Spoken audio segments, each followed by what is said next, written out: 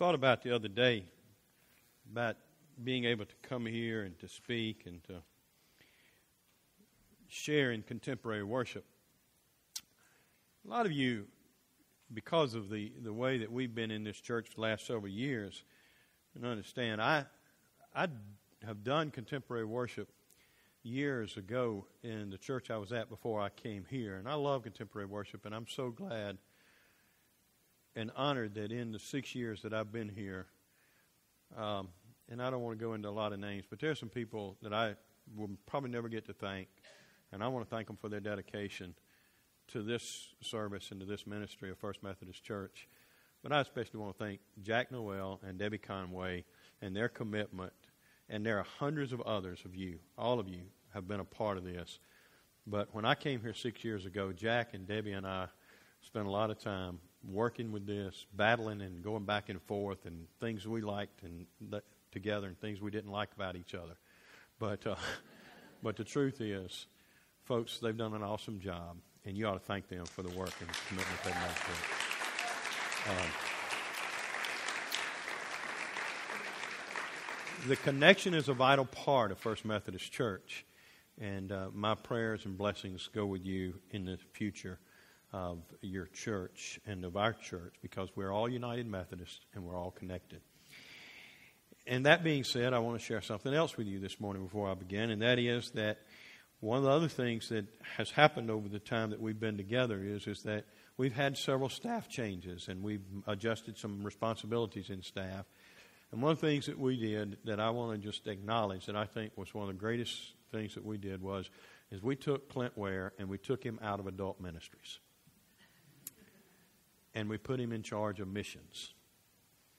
And Clint Ware has done an awesome job in the area of missions in our local church. So before Clint leaves, I hope you'll thank him for the work he's done in missions to bring about the mission outreach of this church and to continue to help it to grow. And folks, don't ever let it die because when missions dies, so does your church. Amen? And I'm standing here with a mission in my hand.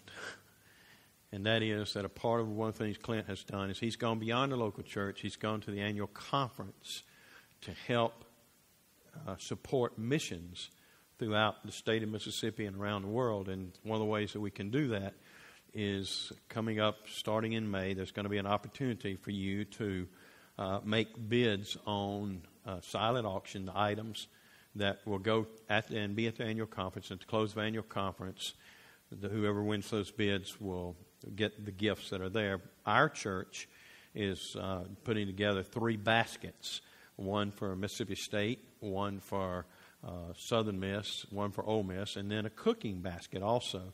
Uh, so this morning I was given this as a part to go in the Ole Miss basket. Okay? Um, it's really hard for me to stand here and hold this. and I am so glad there's no camera flash going off because I'm assuming that means nobody's taking a picture. Uh, but uh, this will obviously get attention from some. But if you have a gift you'd like to present to the basket and help fill those baskets, uh, it would just be awesome if you would do that and get that done. And, and then when it comes time to bid on them, if you would bid on them, um, if you want to take a look at some of them, um, there's a uh, church in Jackson that has already brought their baskets, and they have put together a Jackson State and an Alcorn State basket. And uh, boy, they are just fantastic. I was impressed with what was in there, and uh, it looks really great. So I'm, I'm assuming Clint's going to get some help fixing our baskets up to make them look good. Anyway, uh, right now they're just kind of spread out, but he's got a lot of neat stuff in there. And if you got stuff, and it, and it needs to be new, okay? Don't bring your old umbrellas or whatever.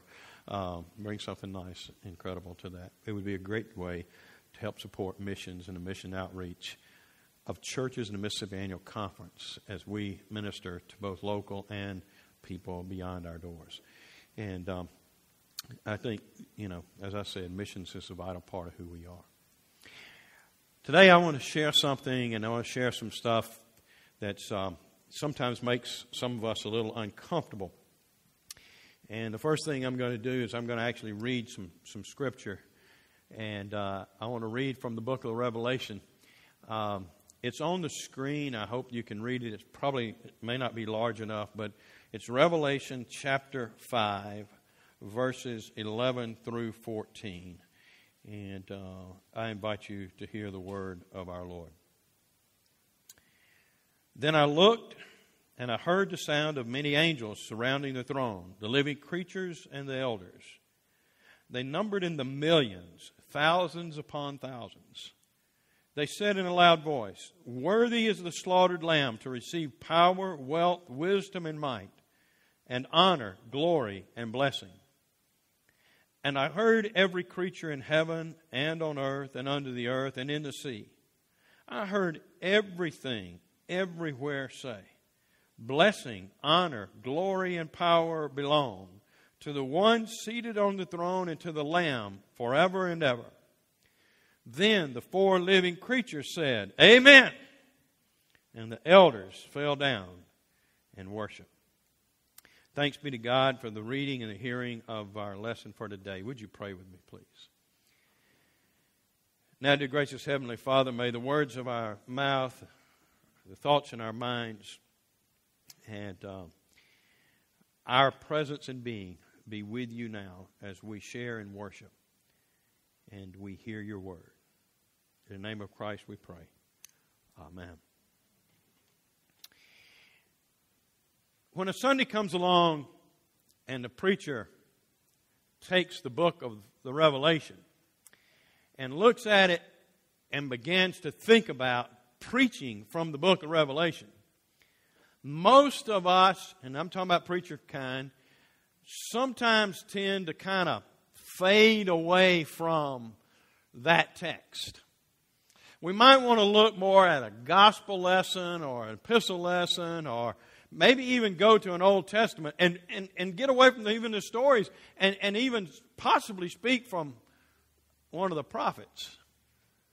I mean, honestly, I'd rather speak from the prophet Isaiah than I had the book of Revelation. And most preachers feel that way. And you have to understand, Isaiah is my least favorite prophet in all of Scripture. Okay? I think you've heard me say that before. That doesn't mean Isaiah is not a great book or wonderful for us to uh, learn from. But when we talk about the revelation, sometimes we even get fearful that we might even speak about what's in the revelation.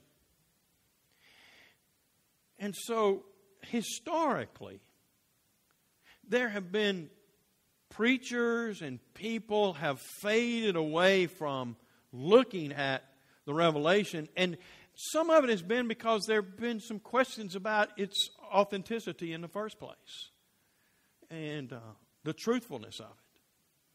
And part of what gets us in, in that is, is when we start looking at what's in that book. In the first four chapters, we discover sayings to the seven churches. If you really read those statements to the seven churches, it'll almost scare you, especially if you place yourself in an imaginary stance of being in one of those churches. Maybe your own guilt feeling or question of where do I fit in there? But when we look at Revelation, there's a question that I think might serve us all. I have a question here that I'd like to, to, to, to show you and to ask you. Does a book full of strange creatures and a punitive God really matter in our life today? Does, does the book of Revelation really matter in our world? When we begin to think about that and to look at it, we look and say, well, you know, we've got enough to deal with already in our world. I mean, things like this. We got to get the kids dressed for school. Okay? So we got to look and say, okay, have they got their shirt and their shoes and their socks and their underwear and all that kind of stuff? Are they ready to go? Man, we're so busy having to do that, we don't have time to read the book of Revelation. Or we look and we say, uh, you know, uh, have I got enough money to take care of all the things that are going on in the world today? I need to work harder. I need to come up with more money. I need to figure out a way that I can do this based on money to pay the bills. Or we might even say, you know, I'm so busy that uh, I have to take care of my elderly parents. I ain't got time to really research and to study into the book of Revelation. I got to take care of these old folks. Well, yeah, we do. Or perhaps we might come along and say, you know, I'm so busy, I got to get my 30 minutes worth of exercise today. Chubb, I'm so glad you noticed I lost some weight. Man, I'm just so excited. It's all that exercise I've been doing, which means I've been getting up and down more regularly, not walking or running more regularly, cause, uh, and I've been watching my diet more than anything.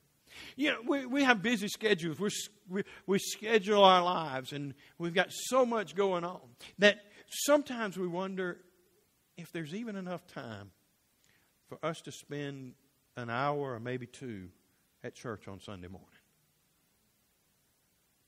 Mean, let's, let's face it, and we know this, you know this. The reality is, a lot of times we wake up on Sunday morning and say, you know, I really need to do this. I really need to do that. And we find excuses for not to be here.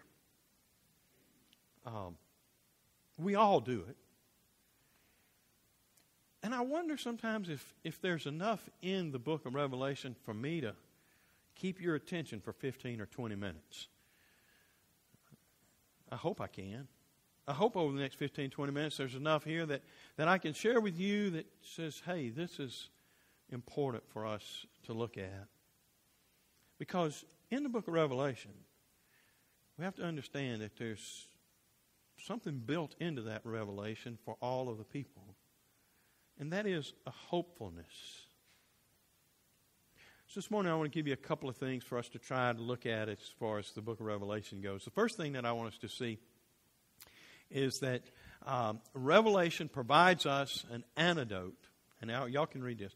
Revelation provides us an antidote for the consumeristic culture we live in today that wants us to stay perpetually young, consume more, and fall into deeper debt without considering the generational effects of living a life that's all about me. Me. Me. Because that's what our world wants us to do.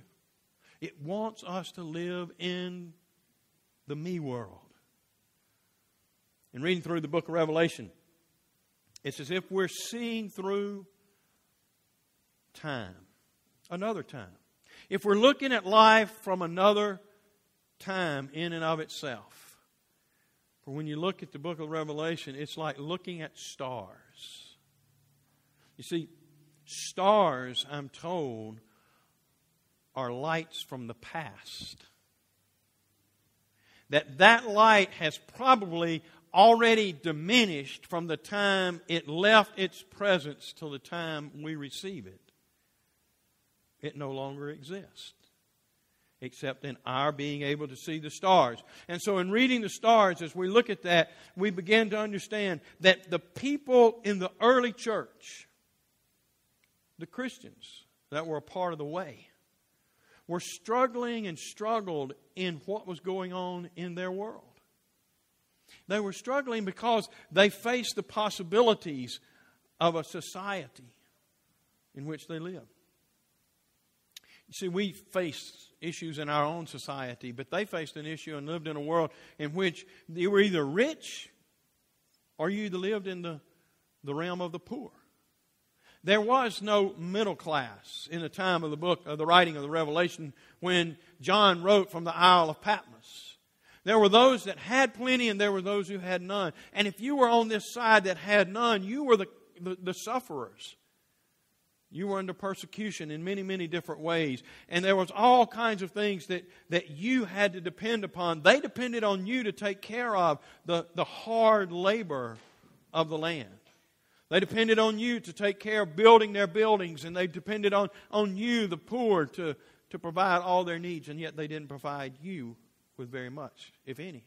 And then on the same turn, what they expected out of you was they expected you to um, bow down to their gods. Maybe even bow down to the emperor as your God.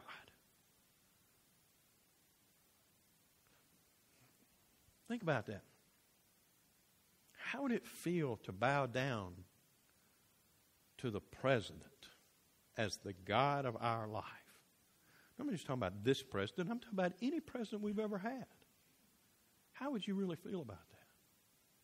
So that's the kind of life and situation that they were in during the time of the writing of the book of the Revelation. That people were faced with that. In the context of such that they were faced with, the revelation was written to offer to people hope. Hope. Now, when you read the book of the Revelation, you're going to find all kinds of creatures and the punitive type God that I mentioned earlier.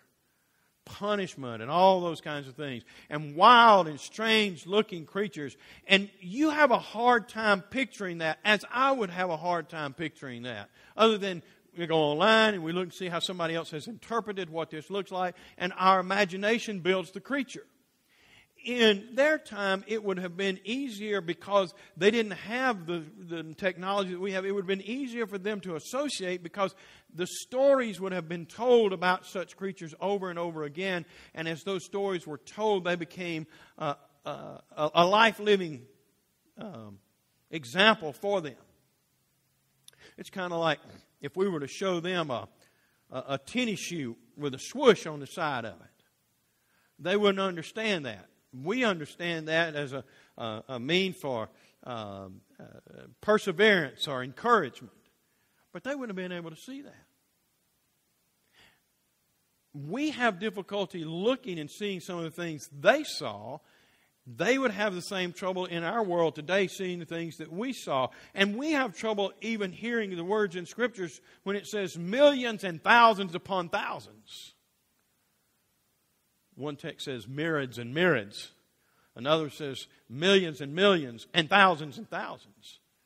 One writer I read said 200 million and thousands and thousands. How many would that be? You know? All we know is it, it, it shows and, and it's, it, it gives us the idea that there are lots and lots of us who need to know the saving grace of Christ. Thousands.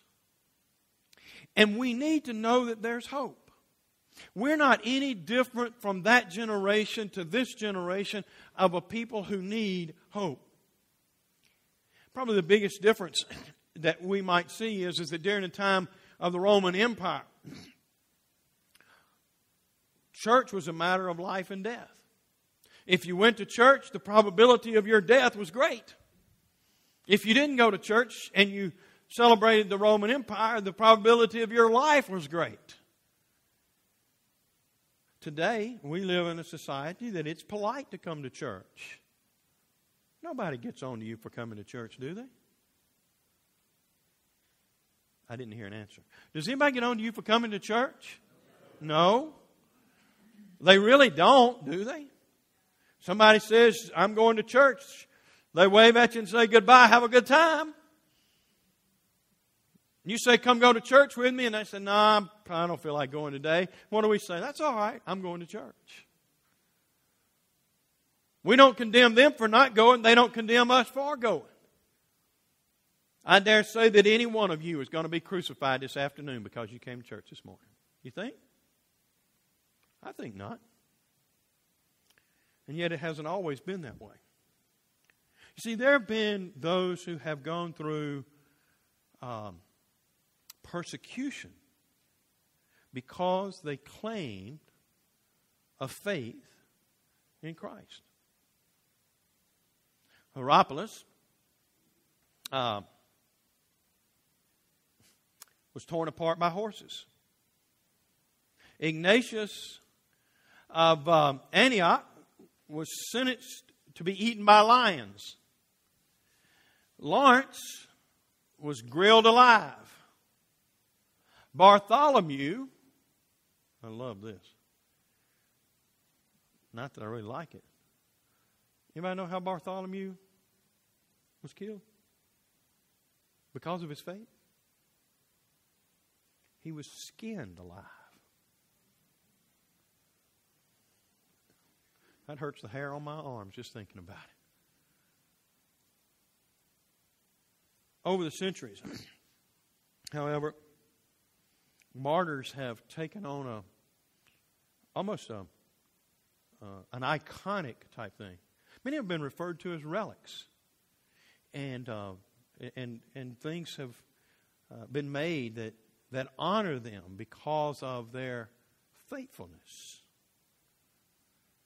Um, and as a result, um, people in the 9th or the 12th or the 6th century um, were recognized because of their personal situation, because of their faith. And they were honored in such a way. Here's another value of revelation that, that we can find. It says Revelation lets us look backward into our historical chronos, our sequential time, and it allows us to look forward into another historical or kairos time or opportune time. Now, with that statement in mind, what Revelation is announcing to us is, is that in the midst of the, the chronos world in which we live, we live in a world that announces our baptismal vows. We live in a world that is uh, based upon the powers of this world. We live in a world that, that uh, gives us uh, how we should live based upon what has happened in our past. But we also live in a historical world that looks at the chronos, or the, I mean, the, the kairos, or an opportunity that awaits us. An opportunity that there is more to life than what we are living in this world today, and that what has happened is not what is, and it's not what necessarily will be. That there is uh, uh, no beginning, no middle, and no end, that there is an opportune time coming in the kingdom of God for us.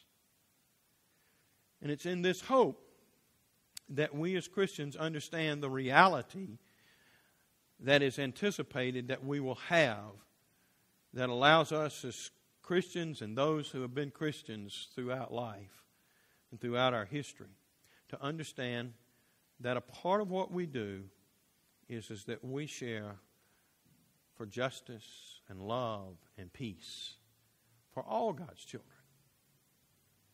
And we know that somewhere along the line, that when we stand up for Christ, that no matter what happens, we will see His glory. No matter when the end time may be. It's in that hope that we have.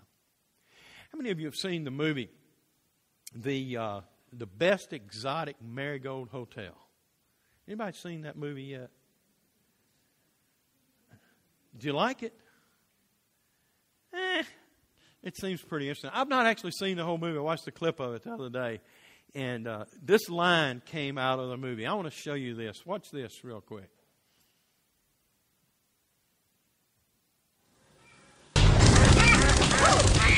I want to stay at the other hotel, the one that's in the brochure. In India, we have a saying everything will be all right in the end. So if it is not all right, it is not yet the end. Did y'all get it? Here's, here's the statement Everything will be all right in the end. If it's not all right, then it's not yet the end. I love that statement. Because sometimes what happens is, is we think the end is coming, the world is coming to an end, and it may be. But if, if it's not right, the end's not here yet. The end's not here yet. 2,000 years of time have passed since the writing of the Revelation. And we still live in a world that has a need for hope we still live lives that have lives filled with hope. We have all kind of current Bible studies. And those Bible studies are awesome. The Bible studies help us to grow in our Christian faith. They help us to understand God's Word. They help us to understand how we might live. They help us to see that miracles still happen. If you don't believe miracles still happen, come spend some time with me somewhere along the way because I'll show you some miracles. Matter of fact, I wrote someone this week and told them I wanted to thank them for letting me be a part of the miracle that has happened in their life. Did I perform the miracle? No, I didn't perform the miracle. I'm not a miracle worker. But did I see God perform a miracle in their life? Yes, I did. I'm blessed that, that I've seen many of those, and I know that God still performs miracles. And there's hope in that, knowing that God still performs miracles because we live in a world in which there's an economic crisis. We're aware that that, that economic crisis hurts us uh, individually and corporately. We live in a world that's faced with um, religious uh, fanaticals that will do all kinds of crazy things in the name of religion. I don't have to name them, I think you know those. We live in a world where there are dictators that think they can control the world by putting a nuclear bomb on the end of a missile. And they think that's hope. That's not hope. Hope's found in, in, in, in, in finding the peace, the peace that passes all understanding.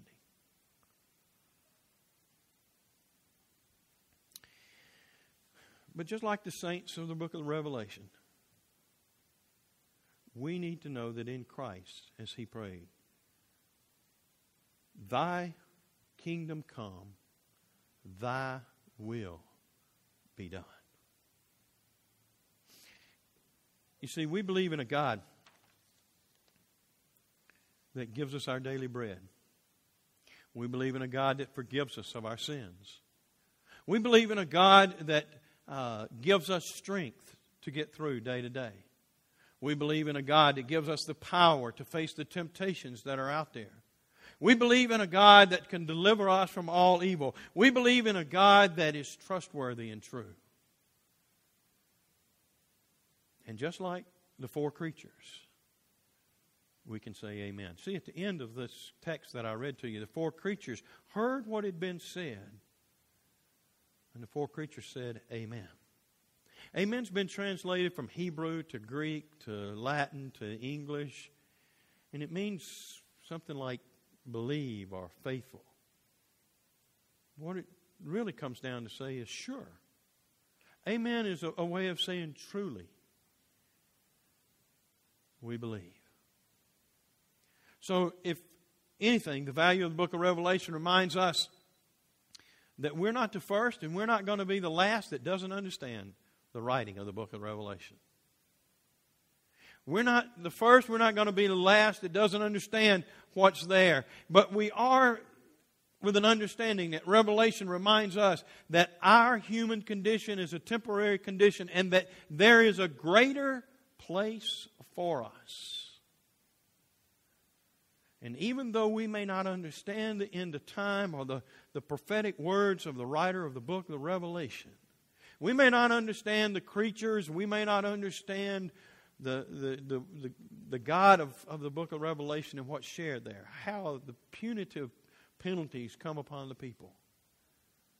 And although we may not understand all of that, what we do know is, is we have hope. And that hope is built in Jesus Christ. You see, you may not understand all of that. They probably understood it better than we do, but we have hope. Um, a fellow by the name of Leonard Sweet has um, put together a, a, little piece that he answers a question What breaks your heart? Well, let me share with you this little video clip real quick of what he says and what breaks my heart. What break your heart? I, I uh, the way in which we, both conservatives and liberals, everybody, evangelicals, mainliners, oldliners, sideliners, offliners, soon to be flatliners, um, are losing focus on Christ. Um, we got everything else. We got principles, propositions of the right, we got principles, propositions of the left, and um, Jesus is missing. And I'm missing Jesus uh, in our church. Um, this is a culture that you expect to miss Jesus in the culture, but you don't expect not to have Jesus lifted up in the church. And we're about everything else. We're about justice, we're causes, we're about these biblical principles. We've become about everything other than other than Christ. And I, it, it all came to a head to me, and I'm not going to name who this person was, but we were in a panel together, and I'm talking about what you know, this focus that's got to be on this lifting up Christ. You said, if I be lifted up, I will draw. We were trying to do that. We're drawing boards, trying to drop this strategy, drop that strategy. He's the draw. We're to lift him up, and he does the drawing, not me. Um, he's the draw. So it's not come to church, it's come to Christ. I'm, I'm, trying to focus on this. And, and he goes, well, for me, it's come to the Bible. And I'm going, well, but, but the Bible points us to Christ. And he goes, well, you know, but for me, it's all about the church is not saying, come to the Bible. And um, finally, I said, you know, I think there's some people that think eternity is going to be like this million year, first million years we're going to spend doing a Bible study. And he looked, and, and you'd know this name, so I'm not telling you. Well, I fully expect the first 50,000 to 100,000 years to be doing a Bible study. Absolutely. So I can get right what I didn't get right here. I'm going, but you got Jesus. You got Jesus. To understand heaven is a Bible study when you have Jesus.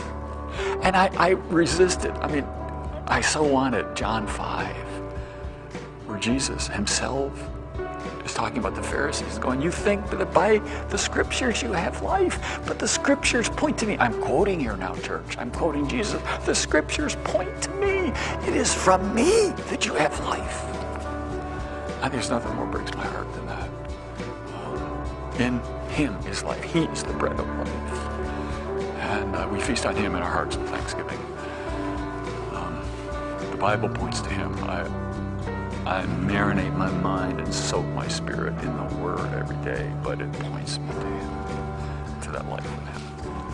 What gives you hope?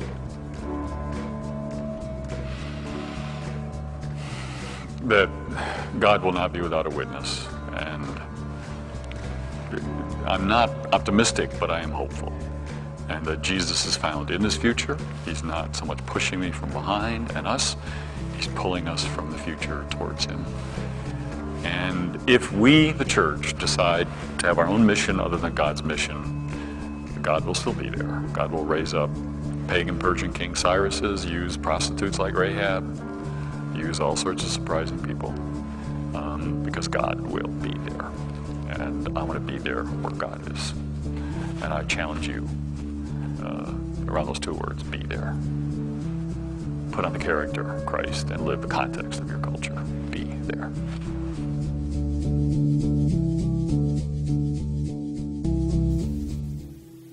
What's the value? What's the value of the book of the Revelation?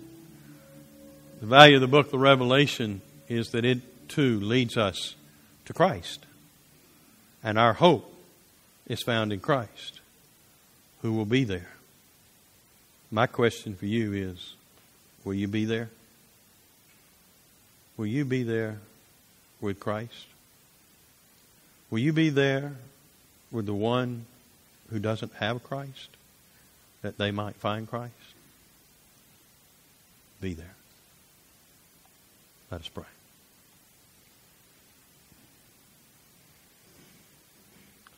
Surely, truly, Lord, in you we find Christ. Amen.